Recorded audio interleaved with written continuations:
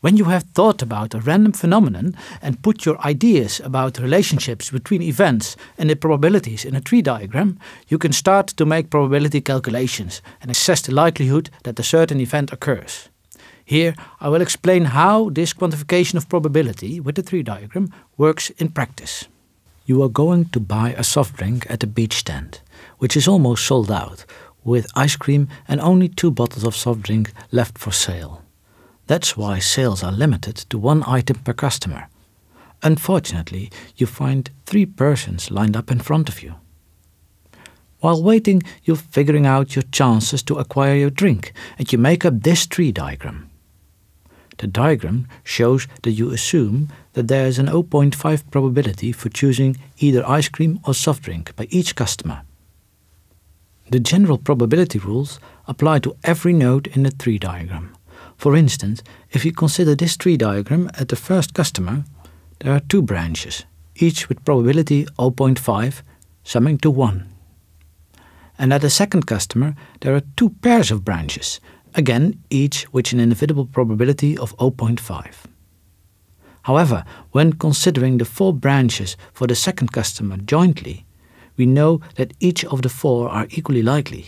Therefore, each should thus have a probability of one fourth. So how does this relate to the probabilities of a half? It makes sense if you consider the sequential nature of these events and the fact that each branch is independent of another. By going along one branch after the first customer, you have halved your probability for that particular outcome, which again is halved by the second customer. So in a tree diagram, you multiply all the probabilities along a certain path to find the probability of the corresponding combined event. Starting at the other end, you might ask yourself what are the chances that after two customers there would still be at least one bottle of soft drink left. Here, the event of interest consists of these three branches. One way to calculate the total probability in this case would be to calculate the probability of II, IS and SI and then sum these. This results in a total probability of 0.75. A quicker way to make the latter calculation is by using the fact that the total of all probabilities must sum to 1. So 1 minus the probability of two bottles of soft drink being sold gives the same result. Now we give the third customer a closer look. There's something special here. C has two options in three out of four cases, but in the situation where the two soft drinks have already been sold, C has only one option left buy ice cream. Also, in this case, the rules set out previously have to be followed.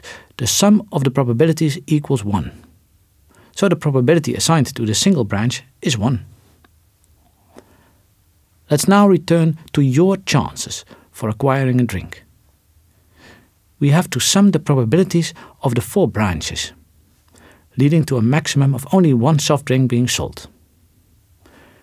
The probability for each of the branches is 0.5 to the power 3, which is 0.125.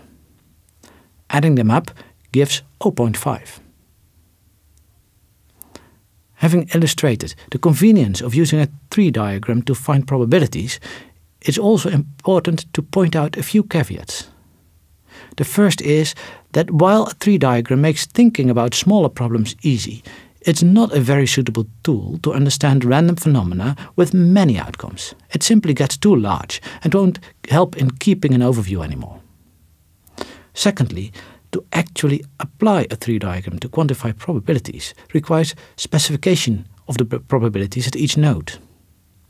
Sometimes this may be easy because you can assume that options are for instance equally likely and independent from previous choices. In other cases, however, it may be difficult. For instance, what if the second customer's choice for either ice cream or soft drink would be influenced by the first customer's choice?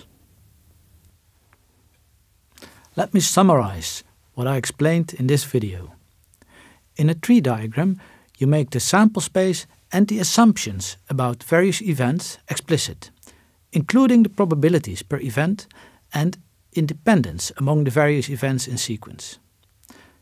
you can calculate probabilities of combined events with tree diagrams. To find the probability from a starting point along a sequence of branches to a particular outcome, all probabilities along that path should be multiplied. And to find the probability of an event that includes multiple outcomes, the probabilities of all the outcomes in that event should be summed.